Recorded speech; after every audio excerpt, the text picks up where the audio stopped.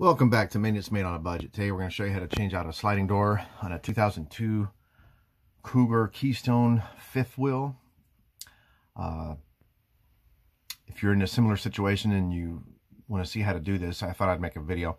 So what happened with this particular one is the bracket broke and what they are is they're hanging doors. They'll hang on these sliders here. So the problem is when you get to unscrew that, so the door would sit up like this and it slides closed. And if you can see inside there, the other one's kind of broke. So I originally was just going to take this one out and replace it. But I'm going to have to take this whole door off. So the way we're going to do that is remove these two screws and then take the inside track apart where this would come off. Now, the thing to remember is, unfortunately, the screws that are in there now are this shape, which is a square head. And uh, I thought they were going to be Allen wrenches, so you need to check that out first if you're in a similar situation like this, where the door is broken. And how did this happen? Well, I think on one of the trips I was on, we had some stuff stashed in here and I went up a really steep incline hill and all I can hear it when I was pulling this thing. All the stuff that I had in that room just slammed against the door and broke it down there. And the, the hinges are just little plastic pieces. The one I ordered is going to be all metal. So what I'm going to do, so first is you're going to have to get make sure if you can see the top, I'll throw in a picture here of what I have. Um, and then the replacement part as well, just in case you're interested. They're uh, sliding door uh, hangers. That's what these are. So um, make sure that you have a set like this to begin with, or maybe it's a Phillips head. I'm not going to be able to use these because I want to use the same type of screws in the event of a future break. Um, well, we'll see. We'll see when I put it together. But anyway, first thing I'm going to do is go ahead and remove the panel paneling and take the whole door off. Okay, so I removed I removed those two screws, but as you can see, it's kind of wedged in there. So you're going to want to go from the back side. So we're going to go ahead and do that. This one.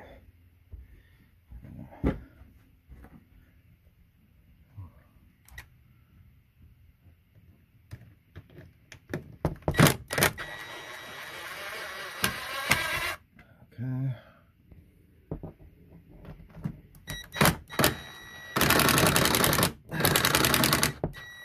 Adjust my Gonna go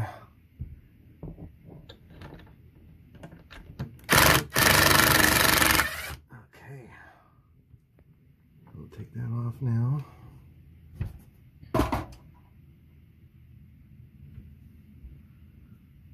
So I got the screw here. And you see what I'm referring to. It's like a, I don't know if you can see that. It's a square. Ah, it's not coming out of my camera, but it's a square um, head fitting.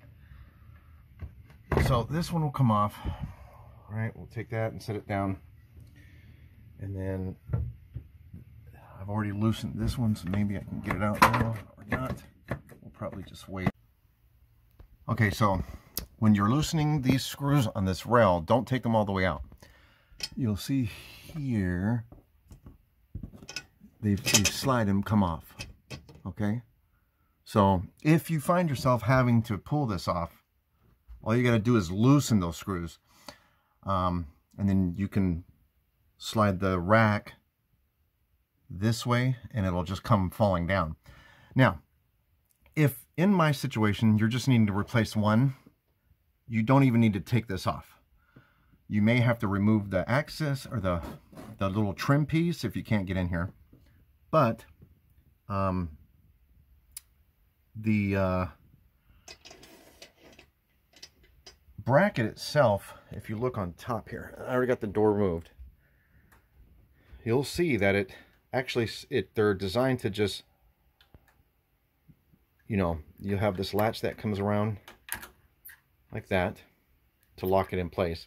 So you'll have to, as the door is hanging, you'll have to open that up. And if you have to, you can adjust this piece. And you'll probably have to get a wrench, but like this one, you can turn the screw in or out and it'll raise or lower that. But you might have to adjust it just a little bit. And then you can see here, as it hangs in there. So let's see. I could just take one off here. So it'll be hanging. Like this is my broke one here. Yeah, of course it's got jammed in there. I'll try this one. Anyways, that piece will hang like that. And you can see it's not, it's a little off. There we go. So all you got to do is take the door and slide the door over and then the door should come right off. With And then that way you won't have to remove any of this paneling. But I'm, re I'm removing this track just to show for this video how this whole system works. Okay, but um, it'll look like that. So on this door, this was the broke piece. The problem I had, and I had to take the door off because I can't get anything up in here to unscrew those stubborn square-headed screws. Um, I would, if you can find maybe a, um, uh, those wrenches, the name of, um, Allen wrenches. Maybe you can get a Allen wrench screw here, and that way as it's hanging, you can just slip it in there and slowly take it off. But to change these out, the easiest way is just to remove the access panels, slide the door where you can reach this piece, and you'll have to like shake and jimmy the door so that it'll slide out. Now this one was stuck because it got jammed when the supplies slammed up against this door. So I had to remove the whole thing. Okay, so where I'm at right now is we're going to go ahead and uh, I'm going to keep the track in place um, because I've already got the, the hangers there. But if you had to remove or maybe the hanger broke, then you'll have to remove this whole piece. So again, it just hangs in by the uh, groove here.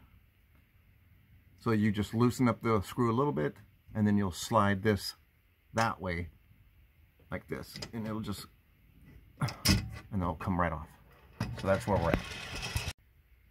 Doors removed. And then you could take these out.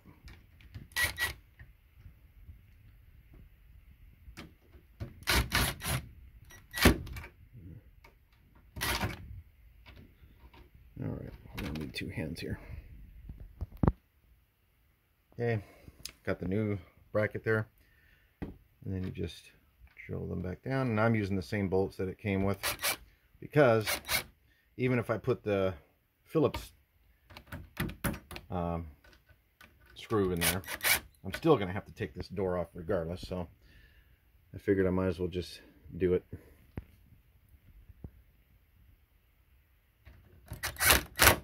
Okay. All right, I got to get that a little bit straight. Thing is, when you put these new ones on, make sure that the the latch here is facing the same direction.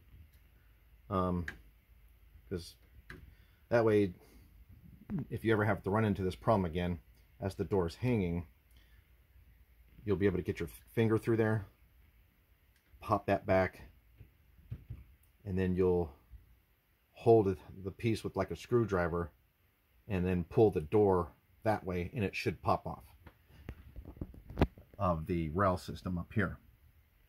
Okay, so that's that. I'll just show kind of how it looks. Okay, so I put it together And I removed everything so you can see very clear how this thing works. So you'll see if this was all hanging in place, right? You have the door here, right? The I removed the, you know, the covers, so it would be looking like that. Um, if you're able to get your fingers in underneath this, you may not have to even remove this piece. But what you need to do is you would just get that latch. And you pull these latches back. And it's not it's easier said than done. You pull the latch back see how it closes over that? And then you would try to jimmy the door so that it'll slide out. And it's hard for me to do it with one hand so I can do it